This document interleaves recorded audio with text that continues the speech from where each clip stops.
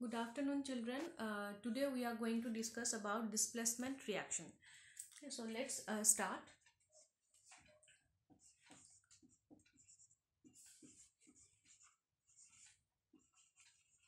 From the name only we can understand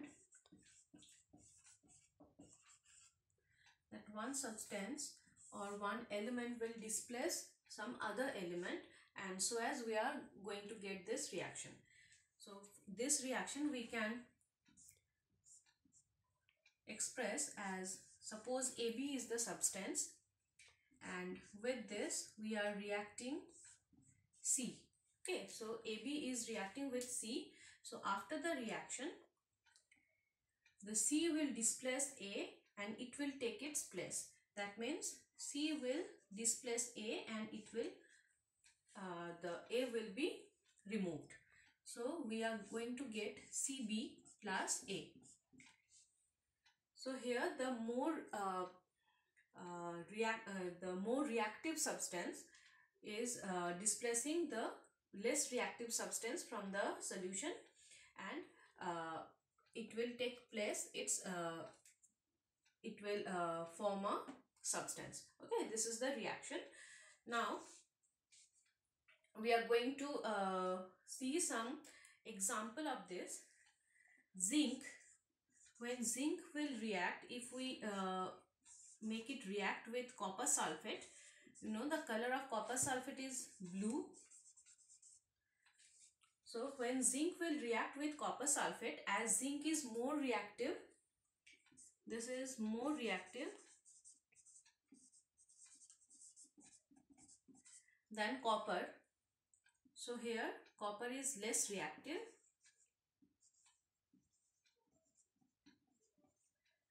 So zinc will displace copper and it will produce zinc sulfate ZnSO4 and copper will remain alone. Okay. So as zinc sulfate is uh, colorless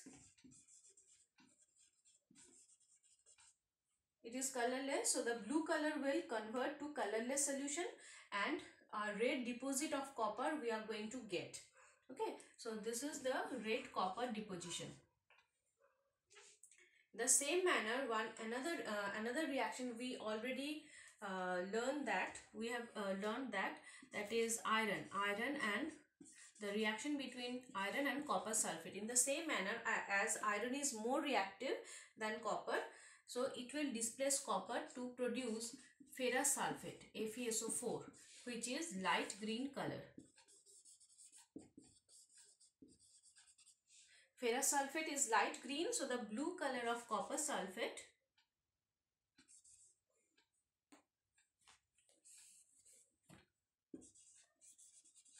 the blue color of copper sulfate will convert to light green color.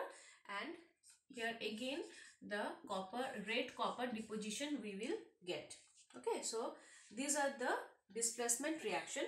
Another uh, example of this is uh, if any uh, metal or any substance is uh, more reactive than hydrogen then it can displace hydrogen from its from any acid or from uh, its uh, substance okay from its compound so we are going to get this. Suppose zinc. If we take zinc as zinc is more reactive than uh, more reactive than hydrogen so if it will react with hydrochloric acid or uh, sulfuric acid also we can take.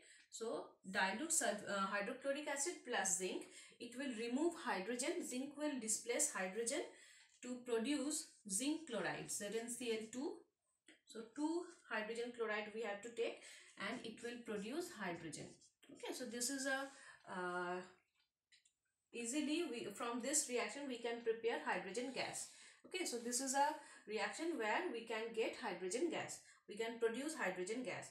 So zinc chloride will be in solution and hydrogen gas will uh, evolve. Uh, same manner all the uh, uh all the uh, metals which are more reactive than hydrogen can uh, show this kind of reaction. Instead of hydrogen chloride if we take sulfuric acid H2SO4 here also dilute sulfuric acid we are going to take. Then it will produce zinc sulfate ZnSO4 along with hydrogen gas will evolve. Okay.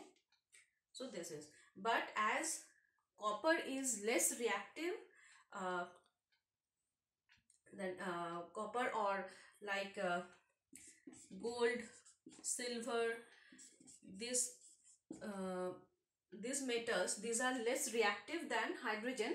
So if we will uh, make make them react with like silver plus HCl if we try to get this reaction it cannot remove hydrogen as it is less reactive than hydrogen okay gold also in the same manner cannot remove hydrogen from its uh, compound as hydrogen is more reactive than silver or gold. So this reaction will not occur.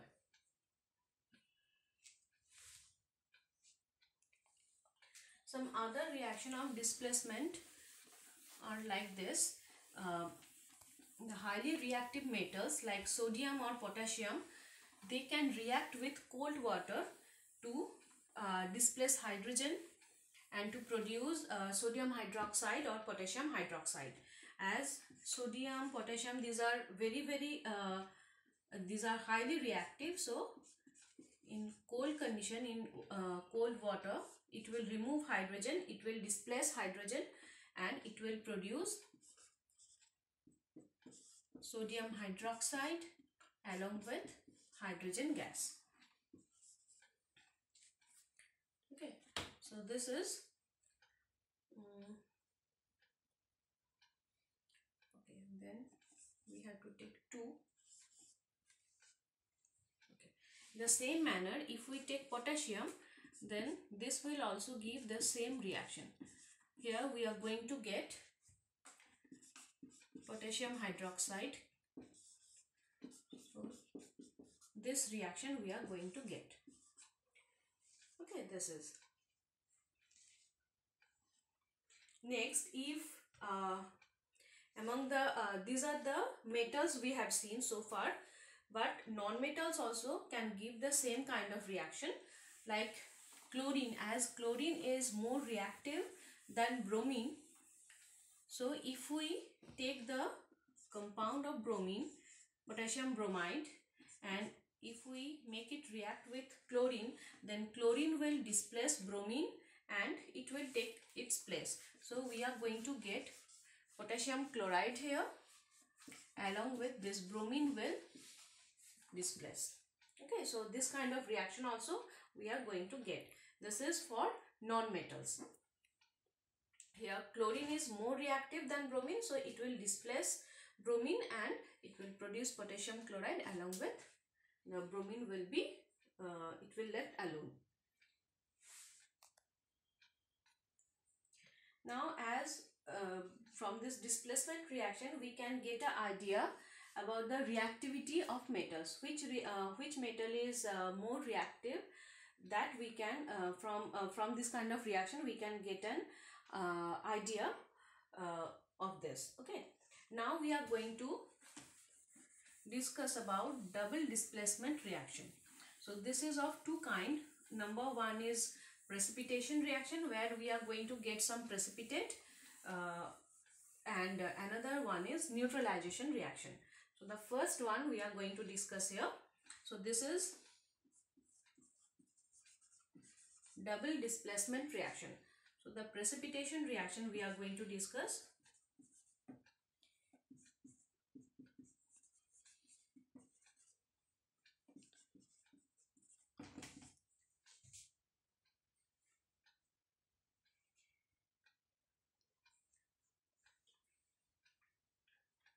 if we add uh, this kind of many reactions we have already learned uh, like uh, barium chloride. Okay if we take uh, barium chloride and uh, if uh, sodium sulfate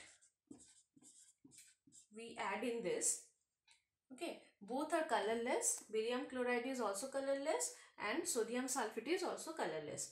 Now here interchange of the radicals will occur. That means barium will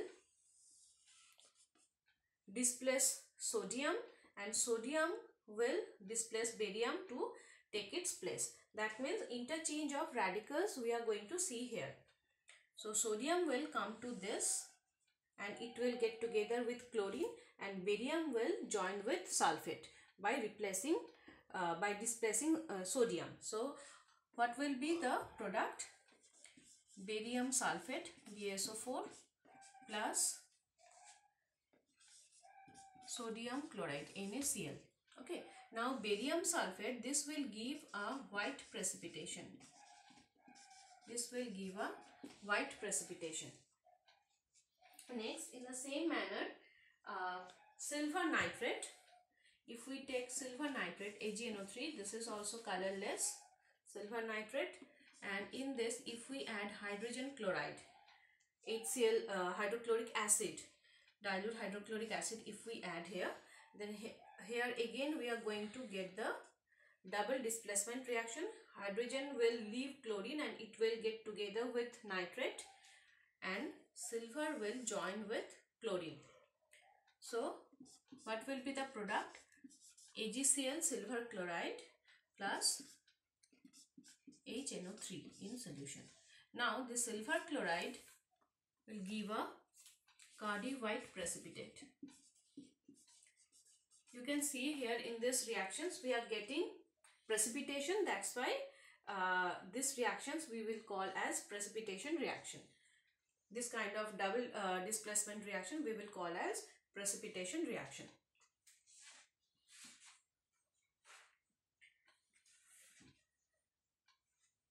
Now copper sulfate, if we take copper sulfate, this is blue in color. In this, if we add sodium hydroxide, NaOH, okay, then it will produce the precipitation, light blue precipitation of copper hydroxide, CuOH whole 2 along with sodium sulfate will form. This is not balanced. So 2 sodium hydroxide we have to take. Now this is copper hydroxide is a pale blue ppt it will form a pale blue precipitation. Okay. Next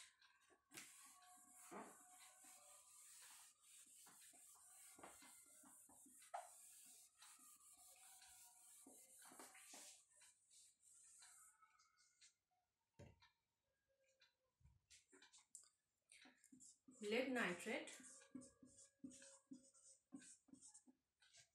In this if we add ammonium hydroxide